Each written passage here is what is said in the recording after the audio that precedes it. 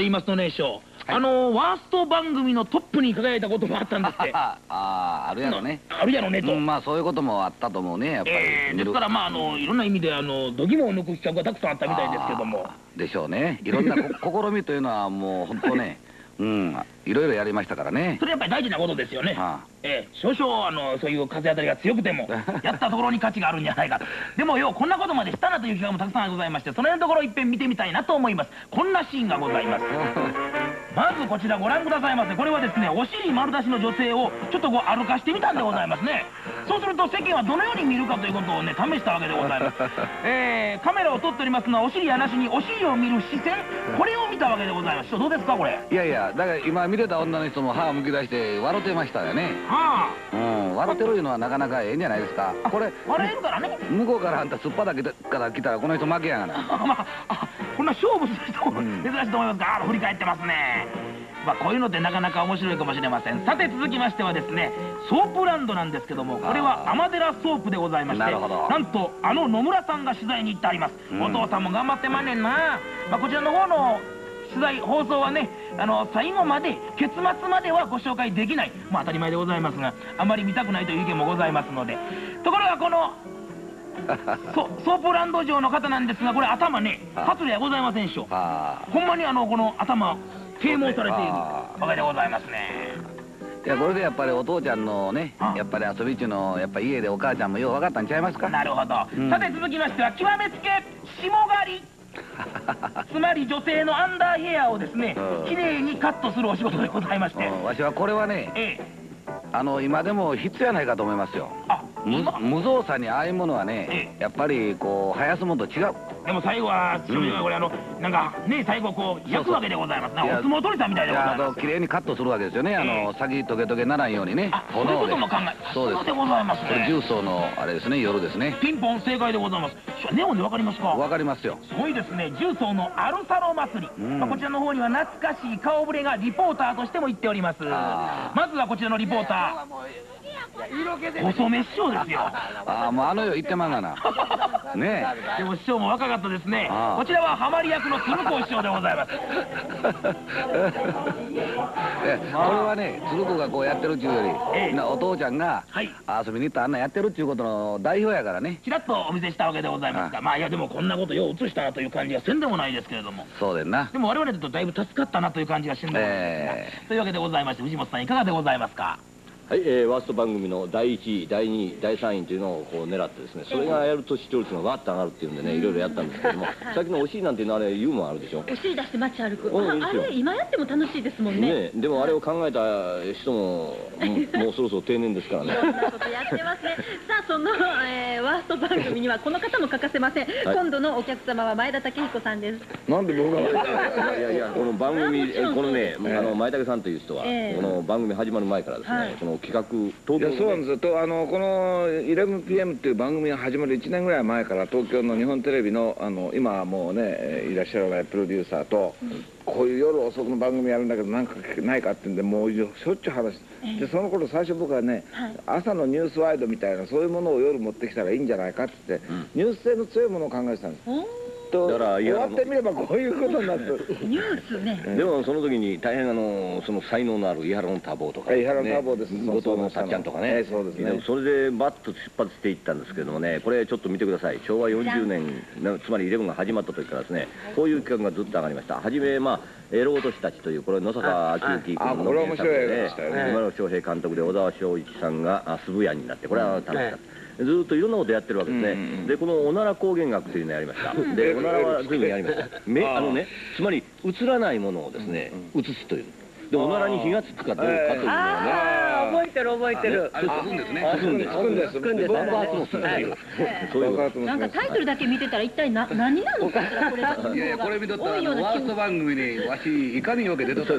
もう月亭課長さんはもうレギュラーみたいなもんですよ。えー、45日以降はこういうふうになってるんですけどね。ね、そうそうでしょ？あの、動物そっくりしようとかねはい。月亭課長さんでしょ、ねえーいろいろありまして、えー女体列島改造論ってこれはまああの田中角栄氏のですねあの日本列島改造論の時にこれ裏は裏をやる、はいそのその反権力的なものがあったんですね、うん、そうですね。だからからかってるわけですよね。そうそうそうそう、ん。でもこうまた文句言ってくる人があってね。あなんか引っかかる人あだからがあって、ね、文句今は最後だから言うけども、本館だったら見なきゃいいんだよ本当に。本当ね、私もそう思う。見て文句言うなって。それで、何あの何か言うと、いわゆる政治的なこと言うとまた上から言われてあれするし、ね、また他のこと言うとまた下から突き上げられてっていう、すごく多かったですよ次にですね。ねこのね陸軍中野学校っていうのをやりましたよ。ずいぶんヘビーなのもやってるんやってるですね。ああ割と社会派ですね、この三味線の歌っていうのがありますね。昭和49年に。これはもう全国をずっと歩きまして沖縄からね、えー青森までが行きました。そしてあのルーツを調べていったんですね。これが民放祭かなんかで賞をもらったはずなんですね、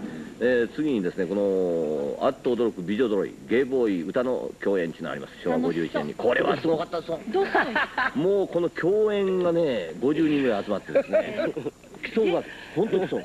でもあのこういう新聞発表のタイトルでしょこれ、んうん。これあの今各社ともね なんか人あの視聴者を捕まおうと思っていろんなどぎついこと書くんですね、それの走りが 11PM あーそうだからね例えばね穴へバッチリってなるんですよ。うん。読む人はなんか想像してやるんだけどパチンコだったりしてね。ああね同じ穴だから、あそのタイトルによって今日はどんな、イレブンだからどんなことやるんだろうっていうね、あれがありましたよそれはね。全然穴違いでね、ええ。うん。へだからそうまあでどうもそれシャレですよ。シャレでしょ、ええ。だからそのシャレっていうものはね、はい。このなんかこう階級があるでしょ、はい。あのこここは受けるけどもこの人たちは怒るという、あれどう考えたらいいのかねいやだからあの頭の悪いやつが怒るんですね。あの冗談が分かんないんですね。そんな苦情電話って山ほどあったんありますあります。頭の悪い人はそれだけ世の中に多いと。お客さんがね、お客さんが家来てね、まず応接前招待しますわね、それせんとね、例えば寝室へいきなり迎えたりとか、うん。台所へ迎えたらね、変に思ったりする人あるけど、それもおもろいんですよね。そうですよね、ええそういう常識を外したやつがね。そうですね。で私もね、大阪と東京と両方やっててね、はいい、ろんなことやってたわけでしょ、だからね、他の番組出たくてもね、ええ私はワンクールに1本ぐらいしか出て出てないんですけどね、ええ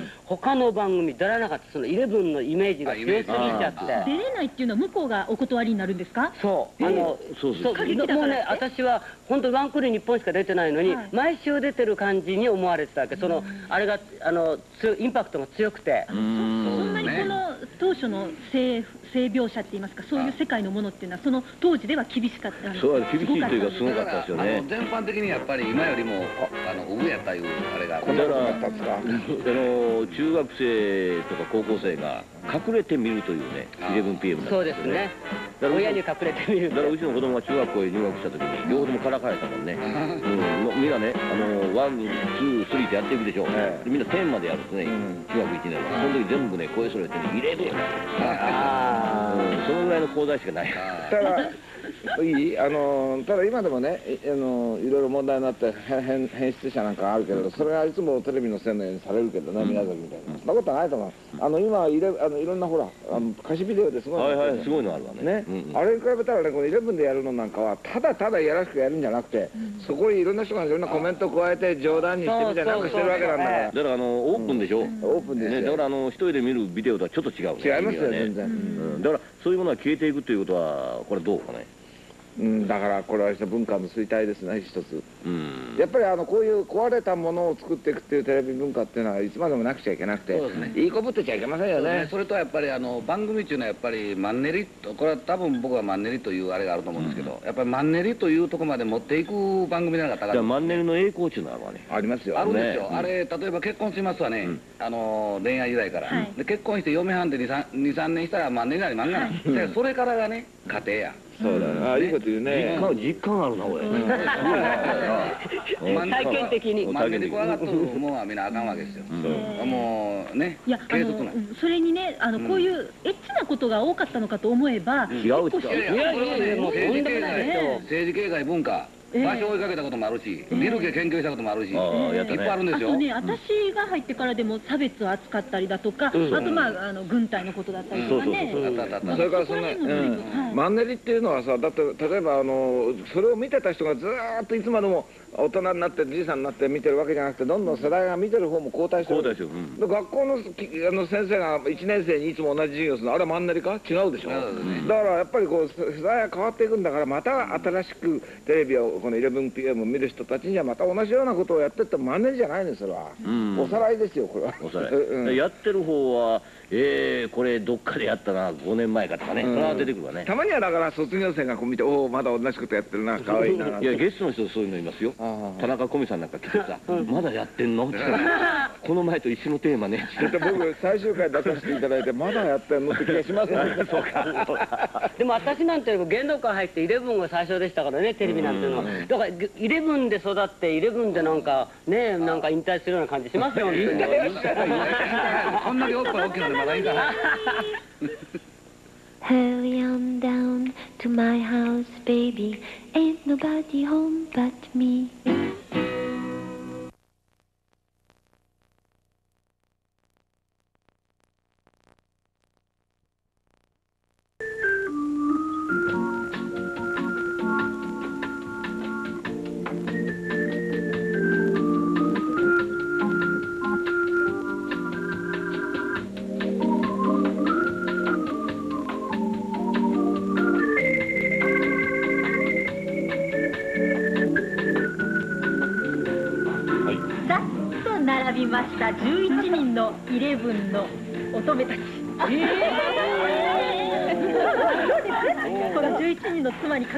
ご気分は何だろうといやいやいやしかしねこんな僕は何を感情してたかというとこんな並んでらっしゃるそして、はいえ子供さんの数を感じる6人ですねか。もう皆さん先輩方6人も産んでらっしゃる。先輩方。まあそれは何をするんですか今日はね焦らない。皆さんに私だけが知っている藤本先生のあんなとここんなとこというところでお話をするだけどもね皆さん結局地方とか行く時もご一緒されたりしてるわけで、えー、24時間ご一緒されてる時もあったりしてるわけで、え。ーそれではまずあの先輩の安藤さんから。私ね、はい。一番長いと思います。あの舞子自分から知ってますしね、あの旅へ行きますとねみんなこう、夏なんか浴衣な、はい。腹巻きした花藤本さんだけですよ。甘えたなん違うかしら。腹巻き調和悪いんです。その時僕は何か言えるんですか？え？言うたらあかんのですよ。あかんのあの聞いてるわ。それとね、まあそんなんはまあええとしてね。私はこれからのことが心配でね、これリズムが狂いますやろ、アルツハイマーならんように気をつけやいや最近もちょっと出てきてるでしょばあさんのありがたい言葉でもうじいさんは。さすが。初代です。今度回します次ははい。続いて市川さん。そうですね。やはりね地方に行った時にね藤本さん覚えてらっしゃいますか、何ですか？忘れてらっしゃいましたね履くもの。をえ？ズボンをいきなり履いてきてしまったって言って朝大騒ぎした。えー、何を？ズボンあのパンツ。忘れてきた。履かないで急にあのねど飛行機がね欠航になってねあの来たれかね。あのねパンパンパンツのないねズボンだけちない痛いよホテル？それを見破られるところがすごいですね。脱いでお休みになるんでしょうか。だからみたいやね。怪しい絶対ねそれではお隣。私はね、あのすごく印象的に覚えてる光景があるんですけどね、九州だったと思うんですけどね、なんか海でなんかロケかなんかやってたんですね、で船に乗って藤本さんも私たちみんな乗ってたんだけど、なんか飛び魚がね、いきなりプッと飛び出して、そしてその時のセリフがねちょっと覚えてない僕もあのぐらいできるとおっしゃったからなんかそんなんでね、いきなり海水パンツってピヨーンと飛んで僕も飛び魚ぐらい。すっごい身がある。のであれはね日本海でした。日本海日本海でした。でね。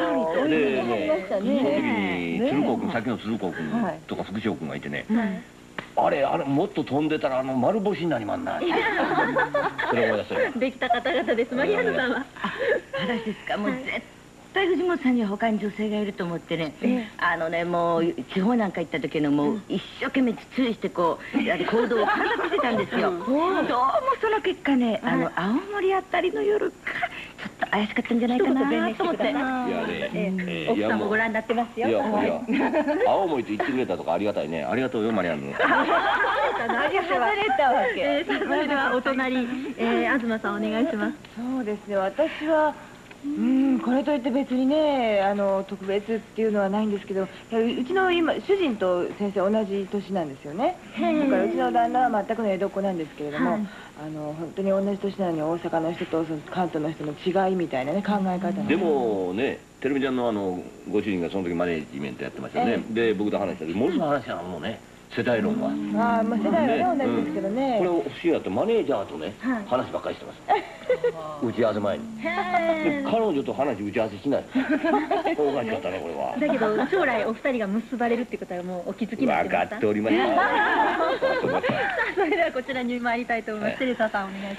え私は思い出があるのは飛行機を止めたことがあるんですよね。先生が。俺は藤本先生が乗るまで飛行機走らなくて、あ飛ばなくてやろ？そうです飛ばなくて、うんうんでバーッと走って、あの覚えてます？覚えてます。えーでもそんなこと。で尊敬できるところはね、あの絶対愚痴を言わないんですね。どんな辛いことがあっても、それね家訓なんです先生の。地方行くでしょ、そうすると夜の夜中までこう飲まなきゃならない、ええ。早く寝たいんですよ本当はもう疲れだから、はい。だけどだ絶対愚痴言わないで、ええ。人の悪口も絶対言わないし、やっぱり価値観のすごくある方だなって。離れて初めて分かるこっちの人 rischiona. 俺好きやわそれは私から言わせていただくと、単にお酒が好きなんです。そうやな。何を言うのあと印象残ってる。っていうとメイク室でね、片隅でこう原稿をこう書いてる。んですよ斜めになってだから字が斜めになってる。ああれよく書いてらっしゃいますねメイク室で。どうしてなんですか？いやね、あの岸純子さん、今日欠席しても、昨日手紙もらってね、こう仕事できない、でね、あの飛行機の中、メイク室で原稿を書いてるんですね、先生を、藤本先生を、私は初め尊敬してました、はい。でも直木賞をもらわれた時に、はいあんなところから直木賞が出るのかと思ったら、私はちょっとね、なんだろうと思いました、文学に疑問を持ちました、これもきつい言葉です。あれは違うんですよ先生書いてるとこみんなに見てほしいんですよ。違うって。違うって。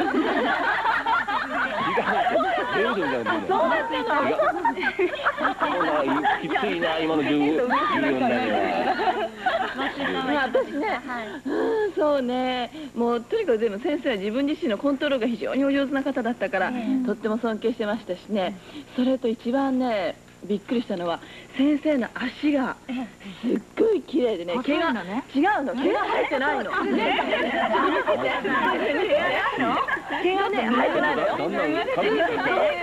それはプールでね公開録音があった時にね先生の足がこうビャって出た時にねうん。もう惚れ惚れするぐらいね綺麗な足でね毛がね全然ないの。もうねみたいなこっちはみんなこっちは毛がないそれに気づかれたホステスの方々いらっしゃいます？だからこれこれを綺麗って言うのかなって今言うて皆さんご存知だったんですか？わかんないからいや一応私は綺麗だって言いましたけどね先生スベスベなのよねいやそうもう今見たことない見たことない初めてです全部全部すべすべなのよいつまでも毛の話ばっかりに言ってる言ってもられませんので。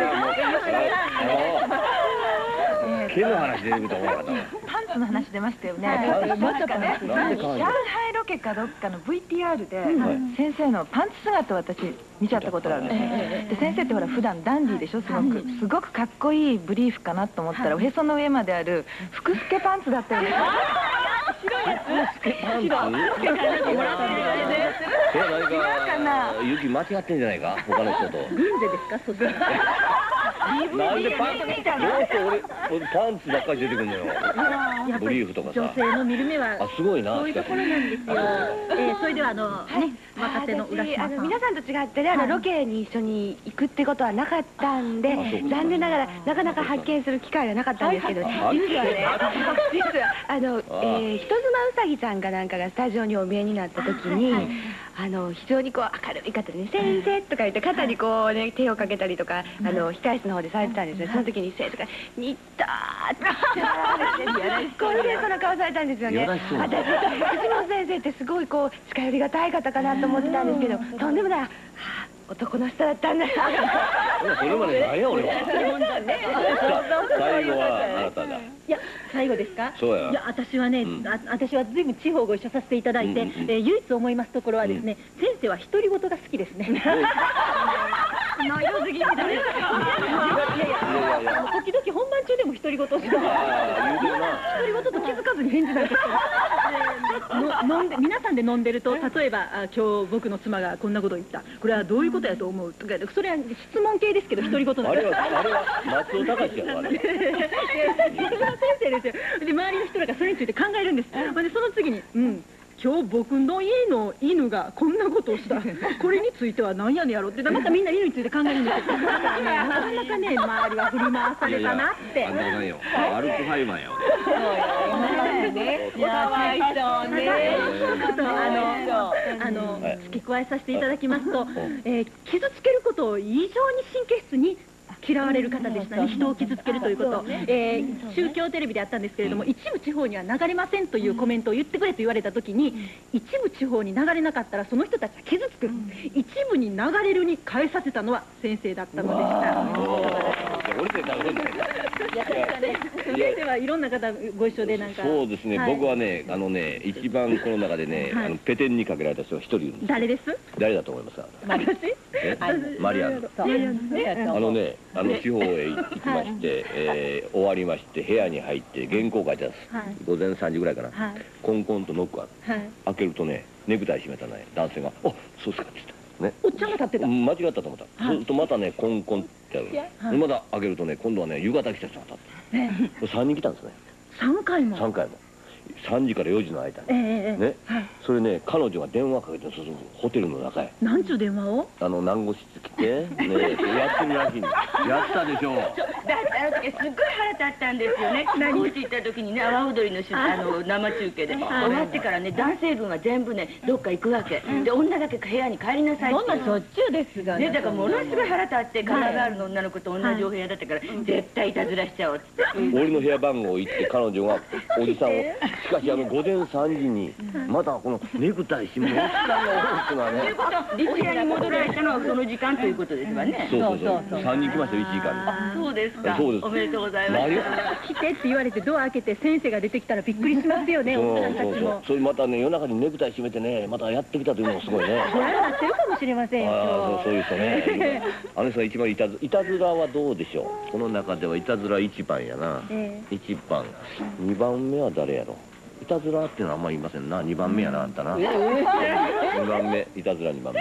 三番目はね。えとりあえずはい、盛り合わせるみたいなんですけどもね、え藤本先生を囲んでといった感じでありますが、まあ、イレブンといえば藤本義一という感じでございますが、それとともにですね、有名なのが、シャバダバシャバダバ、シャバダバダピーシャバダバっていうやつありましたね。ダバダバですよね。いやシャバダバ。いや私はダバダバで聞こえるんです。あシャバダバあの歌を歌っていただいてるのはこの一周佳代子さんなんですよね。ねえ。でも私はね、はい。あの初代じゃないんです。10年か15年ぐらい前からでじゃあ10年から15年ぐらい前はずっとこうやって録音されたとか出てるわけなんですけども、はい。今現在はどういう活動をされてるんですか？えっ、と割とスタジオシンガーですので、はい。CM とかあなるほど。ね。ええ。今日はですね、はい。ダバダバ以外の曲を一部歌っていただきます。シャバダバや。つダバダバや。つシャバダバや。つダバダバや。つ